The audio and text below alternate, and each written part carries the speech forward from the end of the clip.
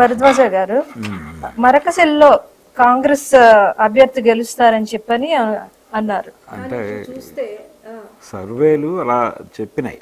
అంటే కొంత అవకాశం ఉంది అని అన్నారు కానీ అక్కడ టీడీపీ లీడ్లో ఉండడం చూస్తున్నాం మనం. అంటే చా ఈసారి కాంగ్రెస్ పార్టీ అకౌంట్ ఓపెన్ చేస్తుంది ఏపీలో. ఒక పార్లమెంటు స్థానము కనీసం ఒక అసెంబ్లీ స్థానం అనేది షర్మిలని లీడ్ రోల్లోకి తీసుకొచ్చి ఆవిడకి పిసిసి పగ్గాలు అప్పచెప్పిన క్షణం నుంచి ఒక అభిప్రాయం ప్రజల్లో పంపవుతూ వస్తోంది. కానీ ఆ ప్రభావం ఎక్కడా కనిపించలేదు ఇప్పుడు.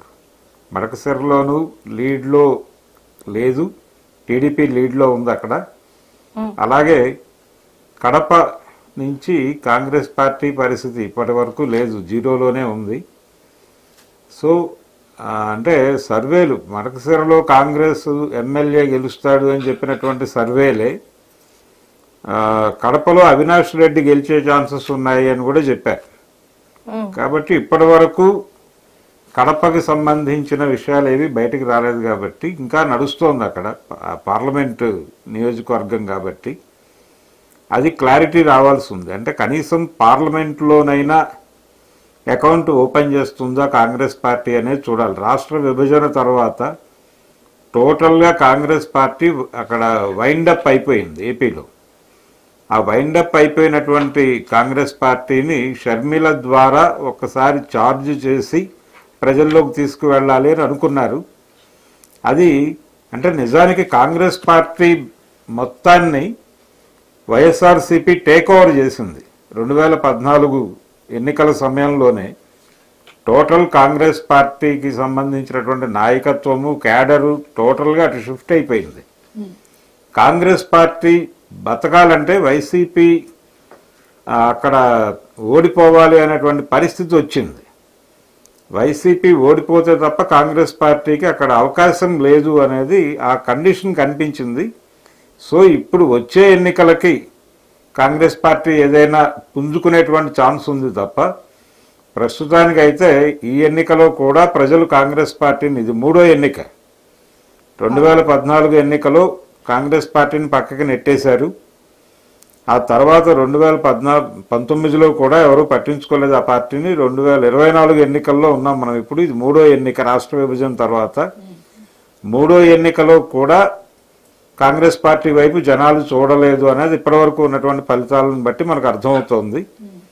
అయితే కాంగ్రెస్ లెఫ్ట్ ఒక కూటమిగా అంటే ఒక compartment Bharatiya Janata party Janasena TDP ఒక కంపార్ట్మెంట్ ఈ రెండు కంపార్ట్మెంట్లని ఒక రకంగా లీడ్ చేసిన వాడు చంద్రబాబు నాయుడే. తెలుగుదేశం పార్టీకి చెందిన మీడియానే షర్మిల గారికి అలాగే సునీత గారికి కూడా ఒక రకంగా వాళ్ళ వాళ్ళ మీడియాగా సహకరించినాయి వాళ్ళకి. కాంగ్రెస్కి ప్రచారాన్ని కల్పించింది తెలుగుదేశం మీడియానే. దాన్ని బట్టి ఒక సయోధ్య అంటే వాళ్ళకి వైసీపీ ఓడిపోవటం అనేది వాళ్ళ అవసరం. కాంగ్రెస్ పార్టీ అవసరం. అలాగే కూటమి అవసరం కూడా అదే. అంటే మనకి ఓ సామెత ఉంటుంది శత్రువు శత్రువు మిత్రుడు అని. ఆ ఈక్వేషన్లో కొంత సహకారం కనిపించింది కానీ వాళ్ళు అంటే ఒకళ్ళని ఒకళ్ళు విమర్శించుకోవడం అనేది జరిగింది. చంద్రబాబు నాయుడు గారు ఎక్కడా షర్మిల గారి గురించి విమర్శ చేయలేదు కానీ ఆవిడ చంద్రబాబు మీద కూడా విమర్శలు ఎక్కువ పెట్టింది. షర్మిల గారు ఆవిడ ఉపన్యసించినటువంటి సభల్లో.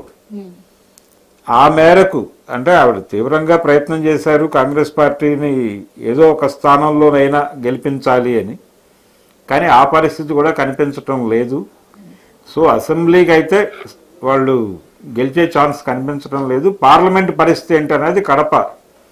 కడప రిజల్ట్ కడప లీడ్ ఎవరున్నారు అనేది బయటకు వస్తే తప్ప క్లారిటీ రాదు. అసలు ఇప్పుడు కాంగ్రెస్ పరిస్థితి ఏంటి సార్ కాంగ్రెస్ అంటే ఏపీలో కాంగ్రెస్ పరిస్థితి. ఏపీలో. ఏపీలో ఏపీలో కాంగ్రెస్ పరిస్థితి నేను ఇందాకే చెప్పాను అది. ఈసారి ఎన్నికల్లో కూడా కోలుకోలేదు. మూడో ఎన్నికల్లో కూడా కోలుకోలేదు అంటే పదేళ్ళు దాటిపోయినా ప్రజలు ఆ రాష్ట్ర విభజన తాలూకా షాక్ నుంచి ఇంకా కోలుకున్నట్టుగా కనిపించటం లేదు. మేబీ ఫ్యూచర్లో సార్ మేబీ వచ్చే ఎన్నికల్లో. వచ్చే ఎన్నికల్లో అంటే వైసీపీ ఓడిపోయింది కాబట్టి నిజానికి వైసీపీలో ఉన్నటువంటి క్యాడర్ మొత్తం కాంగ్రెస్ నుంచి వెళ్ళింది.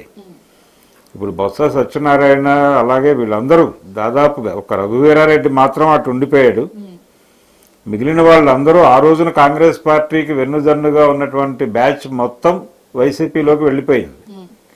అంటే ఒక జోక్ ఉండేది. ఆంధ్రరత్న భవన్ అని విజయవాడలో కాంగ్రెస్ ఆఫీస్ ఉంటుంది. ఆంధ్రరత్న భవన్లో పనిచేసేటువంటి ఆఫీస్ బాయ్లతో సహా వెళ్ళిపోయి వాళ్ళు వైసీపీ ఆఫీస్లో జాయిన్ అయిపోయారని. ఆ లెవెల్లో షిఫ్ట్ అయింది. ఇప్పుడు వైసీపీ దెబ్బతింది కాబట్టి కొంత ఇటువైపుకు టర్న్ అవుతారేమో చూడాలి. ఈవెన్ మల్లాది విష్ణు చివరి వరకు ఆయన కాంగ్రెస్ పార్టీ ఆఫీస్ బేరర్గా ఉండేవాడు అక్కడ ఆంధ్రరత్న భవన్. ఆయన కూడా వైసీపీలోకి వెళ్ళిపోయాడు. ఇలా టోటల్గా మళ్ళీ షర్మిల వచ్చిన తర్వాత ఆంధ్రరత్న భవన్కి కొంచెం కళ వచ్చింది. కానీ ఇప్పుడు ఆ కళ కూడా మనకి బ్యాలెట్లో కనిపించట్లేదు. జీరో. ఒక్క సీట్ లేదు. ఒక్క సీట్ లేదు. ఒకటి కనీసం అంటే అసెంబ్లీకి ఒకటి పార్లమెంటుకి ఒకటి అనుకున్నారు కానీ అది కూడా ఏం కనిపించటం లేదు. కడప పరిస్థితి కడప షర్మిల గారు ఏమైపోతున్నారు ఆవిడ గెలుస్తారా అనేది చూడాలి.